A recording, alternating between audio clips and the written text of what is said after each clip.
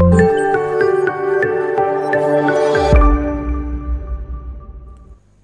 everyone, welcome to SH Sir classes. Today talking about the representation of a root 9.1 on number line. So today representing root 9.1 on number line. So before starting the video, as like every times, I have one request to you. Please subscribe channel and press the bell icon for future video notification. Okay, so first of all, drawing a line of any length here, and this is AX line. Okay, next taking a length 9.1 centimeter by scale and this is 9.1 centimeter and this is b point. Okay. So this is 9.1 centimeter.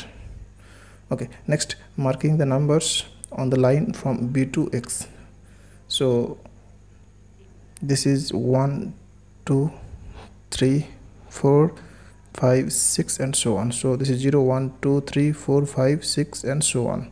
Okay this is c point. Next having to bisect the line ac so putting the compass here and taking greater than half of ac and drawing arcs with same length and cut the arc by the by this way. Okay. Next joining this and which bisect the line ac at a point o.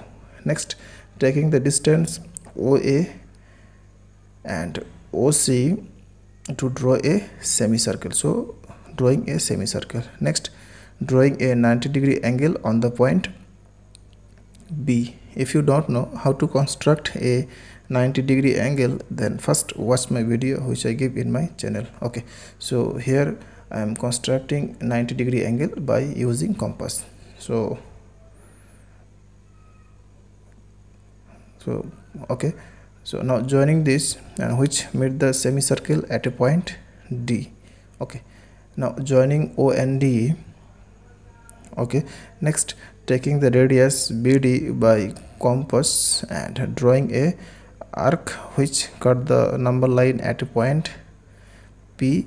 And this is the representation of root 9.1 on number line so this is root 9.1 on number line now roughly discuss the calculation of root 9.1 okay given AB equal to 9.1 centimeter, BC equal to 1 centimeter. So AC equal to 9.1 plus 1 equal to 10.1 centimeter. Now radius OA, OD and OC equal to 10.1 by 2 centimeter and OB equal to OC minus BC. Now putting the value of OC and BC and after calculating this, this 8.1 by 2 centimeter. Now right angle triangle OBD we can write BD equal to root over OD square minus OB square.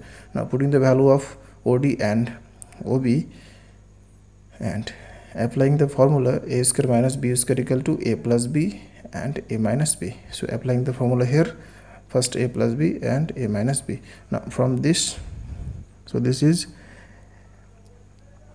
18.2 by 2 into 2 by 2 so this is this is 9.1 centimeter. Therefore bd equal to bp equal to 9.1 centimeter. That's all. Thanks for watching. Please subscribe like and comment on my video.